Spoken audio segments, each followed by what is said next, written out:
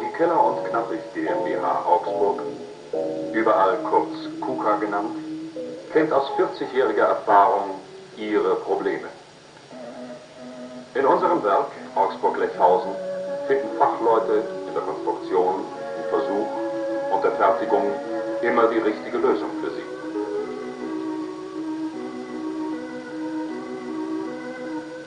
Jeden Monat verlassen durchschnittlich 120 KUKA-Müllwagen unser Werk, um in der ganzen Welt den Müll zu Leibe zu rücken.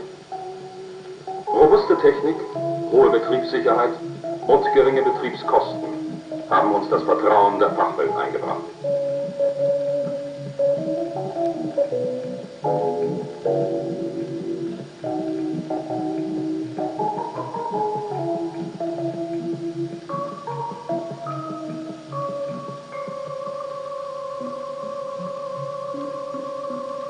Sicher wird Sie ein kurzer Überblick über die Müllwagenfertigung interessieren. In den Hilfsrahmen wird zuerst der mechanische Antrieb eingebaut.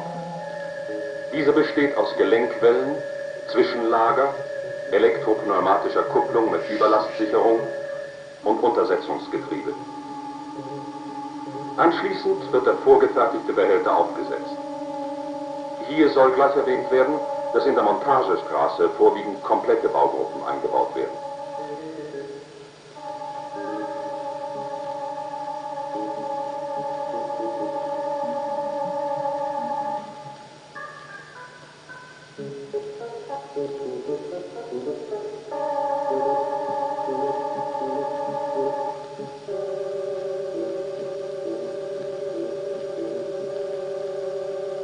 Nach dem Kastenträger wird der Deckel mit der Pressschnecke eingesetzt und anschließend die Lagerung verschweißt.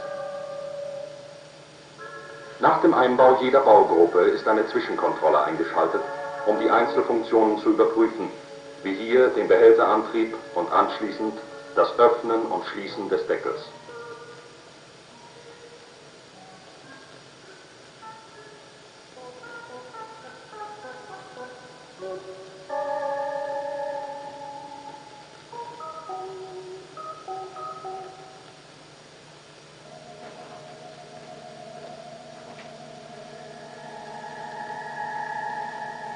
Aufsetzen des Verkleidungsgerippes. Danach wird der fertige Aufbau auf das Fahrgestell montiert. Zur folgenden Lackierung ein Hinweis. KUKA-Fahrzeuge erhalten eine Drei-Schichten-Lackierung, die aus der Grundierung, einer Füllerschicht und einer Kunstharzlackschicht besteht.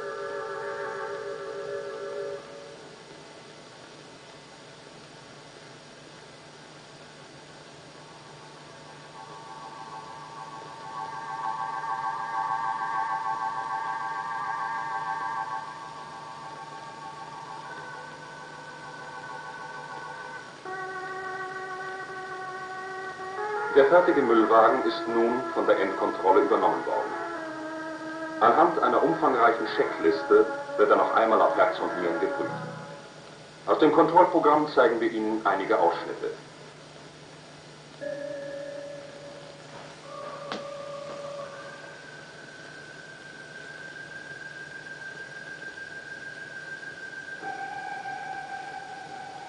Das Zahnspiel zwischen Getriebe und Zahnkranz ist besonders für den ruhigen Lauf des Behälters wichtig. Der Linkslauf wird genauso geprüft wie die Überlastsicherung.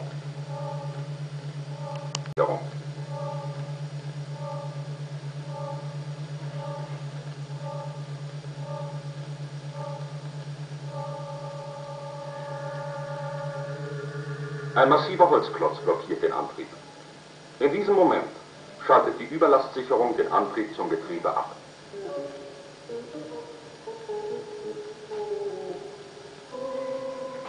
Das Öffnen und Schließen des Deckels, wobei eine einwandfreie Verriegelung genauso wichtig ist wie die Dichtung zwischen dem drehenden Behälter und dem stehenden Deckel, sind weitere zu prüfende Funktionen.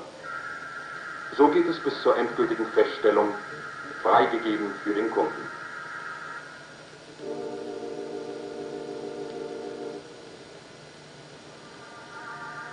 Für jedes Ihrer Müllprobleme gibt es den passenden KUKA-Müllwagen. Aufgrund der vielen Aufbaugrößen lässt sich für jedes Müllgewicht und jede Müllart die richtige Aufbaufahrgestellkombination festlegen. Richtig heißt, wenn die Müllaufnahme des Aufbaus mit der Nutzlast des gesamten Fahrzeuges übereinstimmt.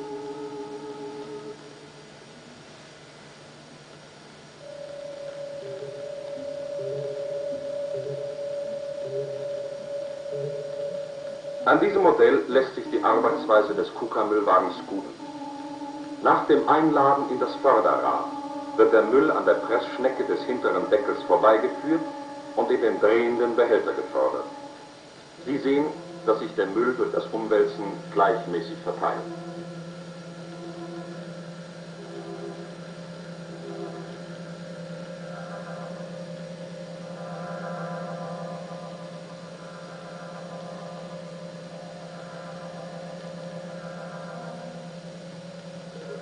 Den Zusatz von farbigen Spänen wird die Durchmischung und damit die Umweltverdichtung im Behälter besonders deutlich.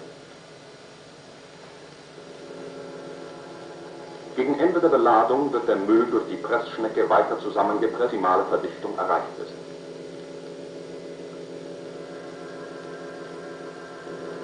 Nach dem Öffnen des Deckels wird der Müll durch Drehen des Behälters wieder entladen. Dies sollte mit etwas erhöhter Drehzahl geschehen, da sich so die Entladezeit verkürzen lässt. Der Behälter wird nicht gekippt, sondern durch die Entladeschnecke schnell und sicher entleert.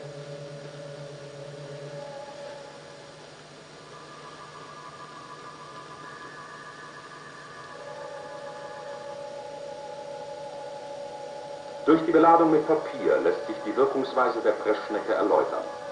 Der Müll wird vom Förderrad erfasst, an der Brechkante des Deckels zerquetscht, an der Pressschnecke vorbeitransportiert und zwangsläufig in den Behälter geschoben.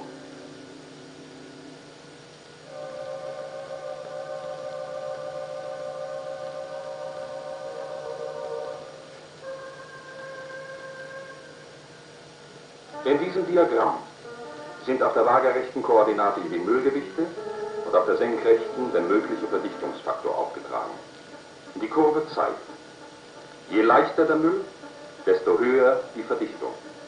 Wir möchten hinzufügen, dass die Verdichtung im KUKA-Müllwagen die obere Grenze des Möglichen erreicht. So beginnt die Produktion von Hausmüll.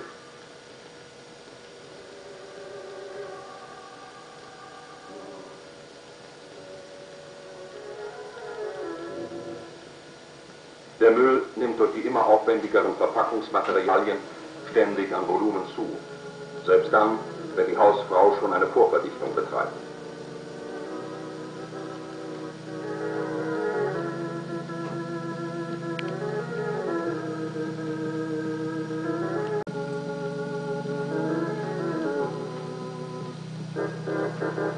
Der Weg zum Müllgefäß sowie die Tatsache, dass der Inhalt des eigenen Eimers noch Platz findet, ist für sie selbstverständlich. Die Probleme der Verwaltungen sind jedoch zum größten Teil der Bevölkerung kein Begriff. Beachtung wird dem Müll nur geschenkt, wenn er nicht abgeholt wird, wie zum Beispiel während der Müllarbeiterstreiks in Paris, London und New York. In einem Gebiet mit nicht genormten Gefäßen unterschiedlichster Größe soll der Müll eingesammelt werden. Hier ist der Kuka-Hai mit einer Universalschüttung das richtige Fahrzeug. Sie haben außerdem den Vorteil, dass bei dieser Beladeart auch immer wieder auftauchende sperrige Gegenstände mitgenommen werden können.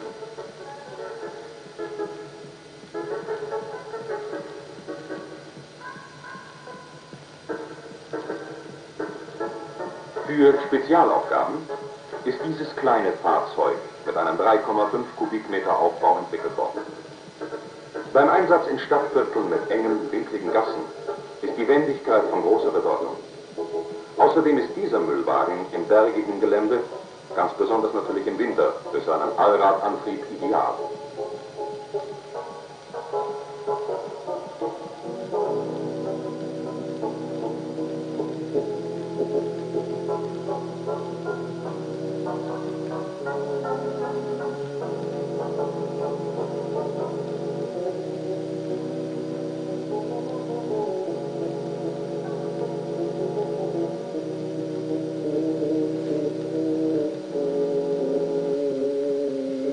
Gemeinden mit lockerer Bebauung hat sich der Systemmülleimer mit 35 und 50 Liter Inhalt durchgesetzt. Der KUKA-Müllwagen mit einer Ringeimer-Doppelschüttung und zwei Mann Ladepersonal garantiert durch seine hohe Aufnahmefähigkeit und große Betriebssicherheit eine rationelle Müllsammlung.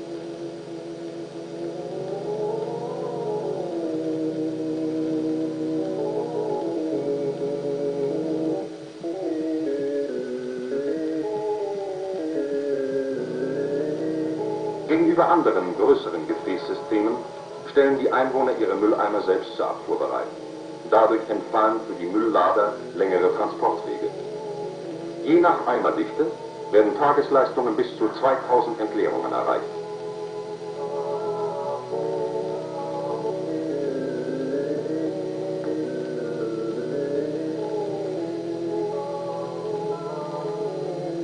Nach Feiertagen, wenn mehr Müll anfällt, wird in zunehmendem Maße der Müllsack verwendet. Bei einzelnen Säcken werden diese durch die jeweilige Schüttung geladen.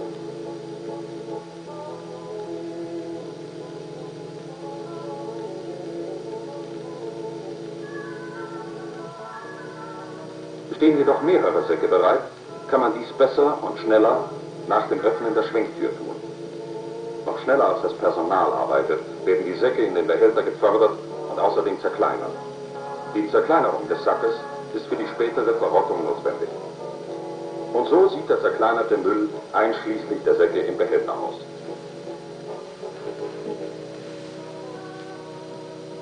Es gibt aber auch Städte und Gemeinden, die die Müllabfuhr völlig auf Papier- oder Kunststoffsäcke umgestellt haben.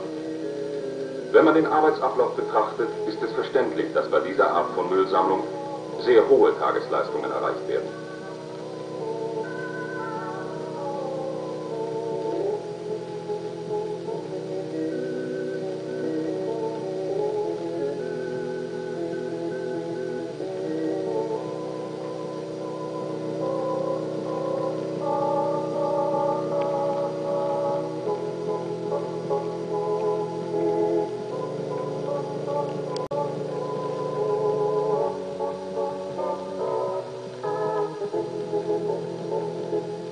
Wieder anders stellen sich die Probleme bei der Müllabfuhr, wenn 110 Liter Mülltonnen eingeführt sind.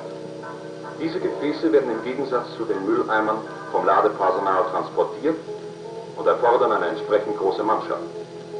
Die Wirtschaftlichkeit hängt dabei hauptsächlich vom Transportweg der Mülltonne, also von der Wahl des Standplatzes und vom Müllwagen ab.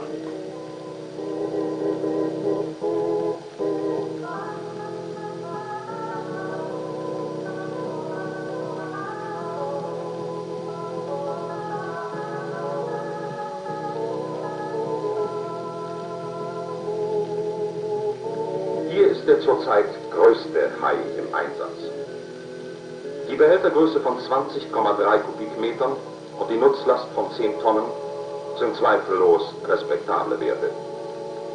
Mit diesem Fahrzeug werden täglich zwei Sammelfahrten durchgeführt, wobei Tagesleistungen von über 800 Tonnen Entleerungen erzielt werden. Dies kann als Beispiel dafür gelten, dass KUKA in der Lage ist, mit dem sehr variablen Aufbauprogramm das Fahrzeug zu liefern das ganz konsequent auf die jeweiligen Verhältnisse abgestimmt und so als optimal zu bezeichnen ist.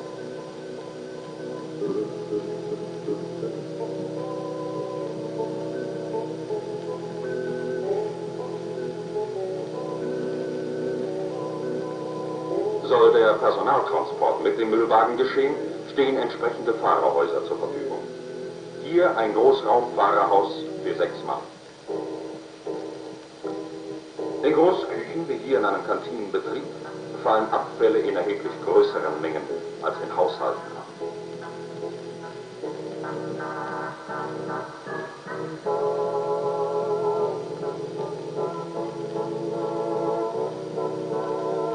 Das Umlehrsystem mit 1100 Liter Großbehältern hat sich gerade bei größeren Müllmengen als das wirtschaftlichste überhaupt erwiesen. Ganze Tonnenbatterien, die früher die Standplätze zierten, sind verschwunden und das Entleeren des Großbehälters dauert nur einen Bruchteil der früher benötigten Zeit.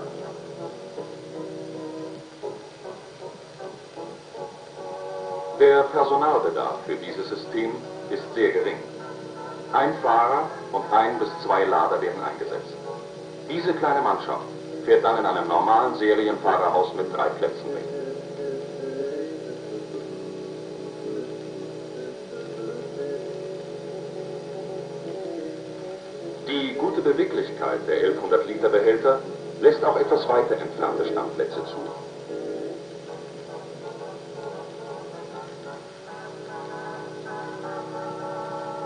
Bitte bedenken Sie, dass bei dieser Behälterentleerung 1,1 Kubikmeter Müll in die Schüttöffnung fallen. Die kurze Entleerungszeit ist nur dadurch möglich, dass der Müll mit sehr hoher Geschwindigkeit in den Behälter gefördert wird. Mit diesem System werden je nach Abstand von Behälter zu Behälter täglich zwischen 120 und 150 Stück geladen. Dies sind 132 bzw. 165 Kubikmeter losen Mülls. Nach der Sammlung von Hausmüll nun die Entleerung eines KUKA-Eis in einem Müllbunker. Hier fällt besonders auf, dass der Aufbau bei der Entleerung nicht gekippt wird. Eine Wandschnecke im Behälter entleert das Fahrzeug schnell und sicher. Wichtig ist die Tatsache, dass der Behälter nach der Entleerung absolut sauber ist und nicht gereinigt werden muss. Korrosionen an der Behälterwandung und unnötiger Zeitaufwand werden vermieden.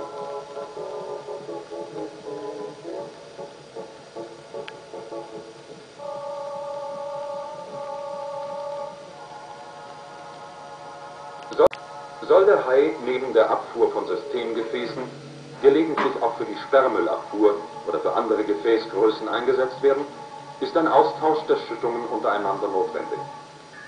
Ein Steckrahmen, auf dem jede Schüttung montiert ist, ist nach dem Lösen einiger Klemm- bzw. Klappschrauben leicht abhebbar. Gegebenenfalls muss je nach Schüttung noch eine Luft- oder Hydraulikleitung gelöst werden. Die Wechselschüttung wird dann genauso leicht und bequem wieder eingesetzt. Bei einem Zeitaufwand von 10 bis 15 Minuten ist Ihr Hai für alle Abfuhrarten umzurüsten.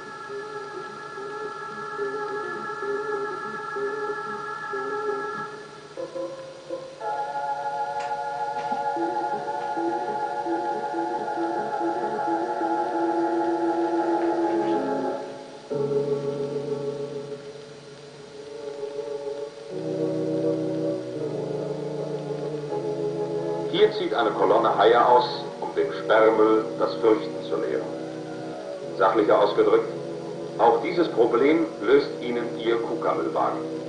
Gleichgültig ob alte Möbel, Herde, Kühlschränke, Waschmaschinen, Fahrräder oder ähnliches zu verarbeiten sind.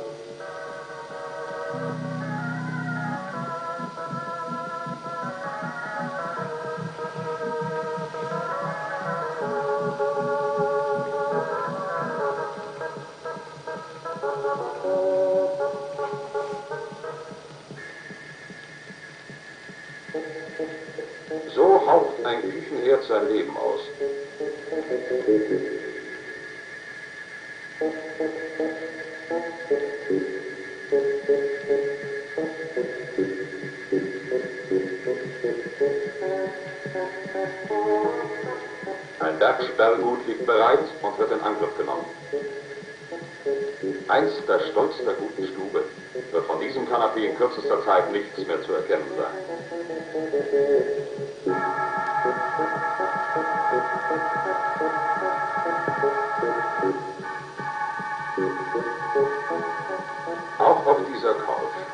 Zukünftig niemand mehr.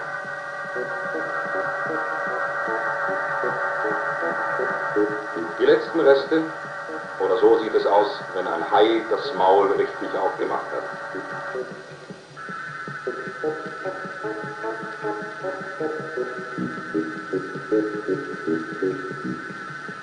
Auch wenn die Abfallhaufen noch größer werden, machen sie keine Schwierigkeiten. Im Gegenteil. Je dichter der Müll zusammenliegt, desto kürzer ist die Beladezeit.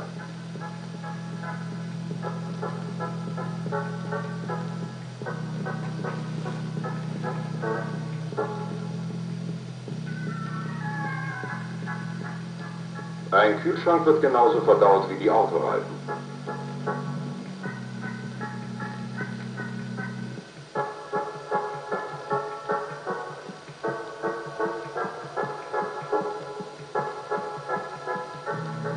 Einmal ein Mini-Hai für Spezialeinsätze. Wenn Sie in Ihrem Gebiet in solch engen Straßenmüll sammeln müssen, ist der Mini-Hai eine wertvolle Hilfe.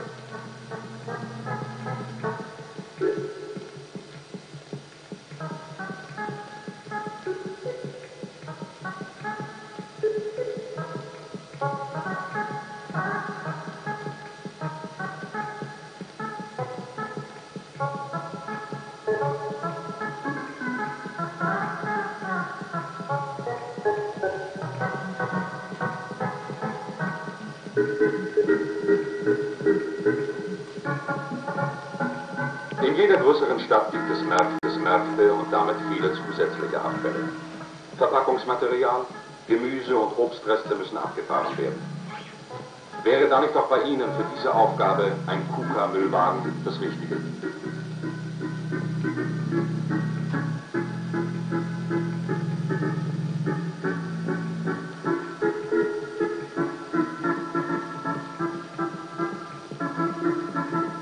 Papierkörbe, deren Zahl auch immer größer wird,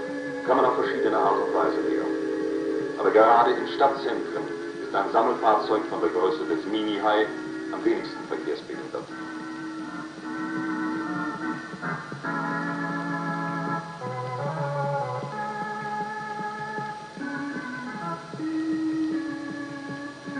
Für eine Supermarktkette hat sich das Müllproblem durch unseren Einachsanhänger gelöst.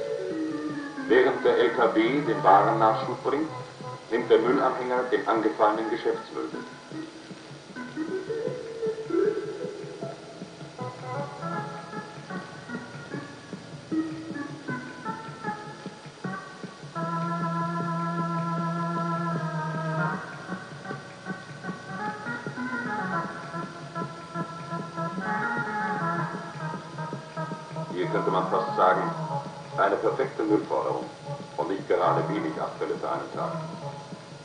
Wird der Behälter in diesem Fall von einem VW-Industriemotor angetrieben. In der Großhandelszentrale ist die Menge natürlich das Vielfache. Aber wenn drei Mann mit Hochdruck rangehen, ist auch der größte Abfallberg in kürzester Zeit beseitigt.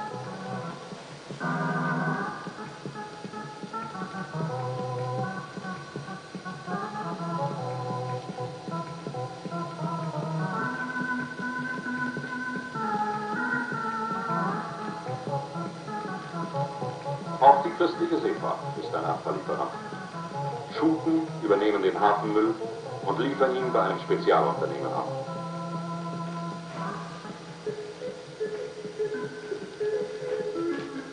Ein Zweiachsanhänger mit elektrischem Behälterantrieb nimmt die Abfälle auf. Von einem Unimog oder anderen Zugfahrzeug wird der Anhänger dann zur Entleerung gezogen.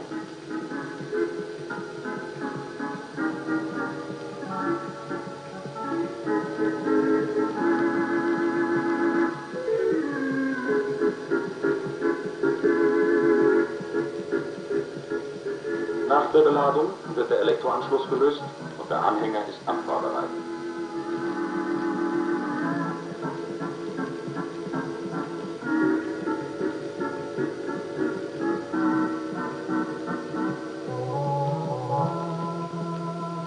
Auch bei großen Industrieunternehmen ist die Mülllawine im Rollen.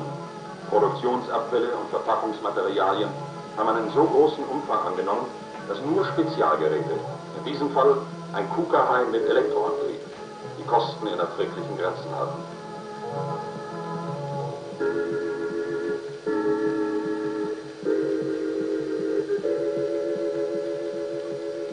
Nicht enden wollende Kunststofffolien bereiten woanders Schwierigkeiten. Nur durch die kontinuierliche Förderung ist es überhaupt möglich, solche Riesenschlangen zu laden.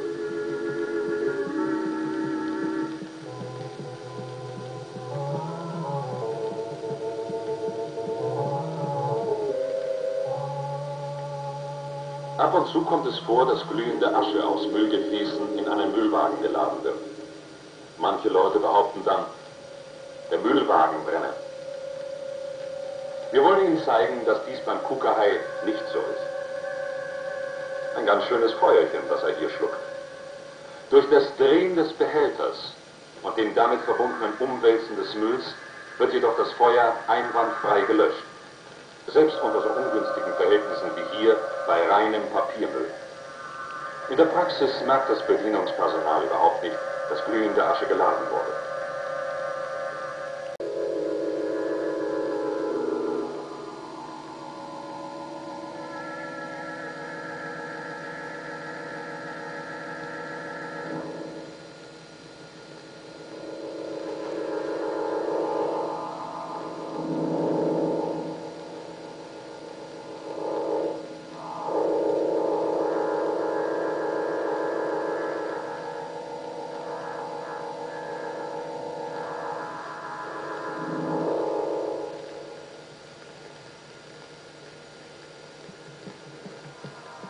Die Müllbeseitigung ist heute in vielen Fällen problematisch.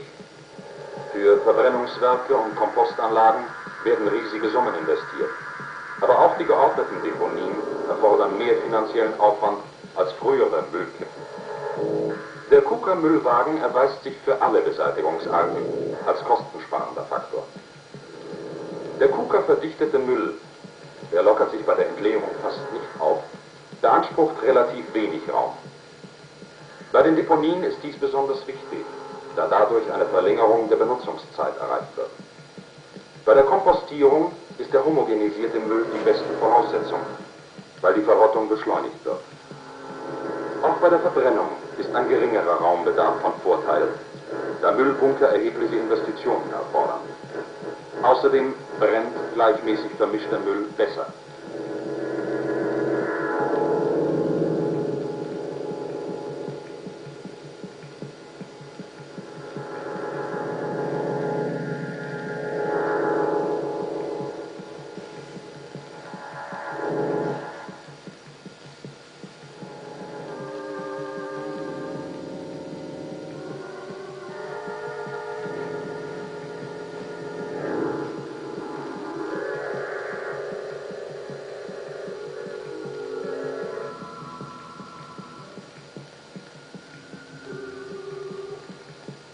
Bei längeren Transportwegen zu zentralen Beseitigungsanlagen sollte der Müll in Spezialtransporter umgeladen werden.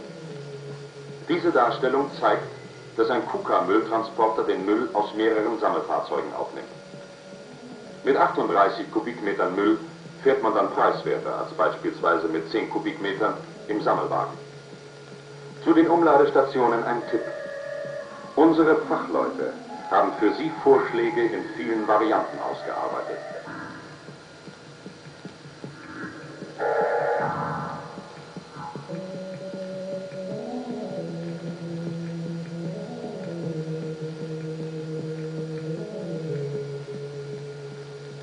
Der Transporter nach einer Strecke von 46 Kilometern eine zentrale Deponie erreicht. Preiswerter kann man Müll nicht transportieren. Die fachlich richtige Beratung unserer Kunden ist für uns primär. An jedem roten Punkt sitzt ein KUKA-Fachmann. Ob in Europa oder allen anderen Erdteilen, KUKA ist für Sie immer erreichbar. Besonders wichtig ist, dass Sie in diesen Stationen auch unsere Kundendienstspezialisten finden, die Ihnen jede Unterstützung bei der Wartung und Pflege Ihrer Fahrzeuge geben.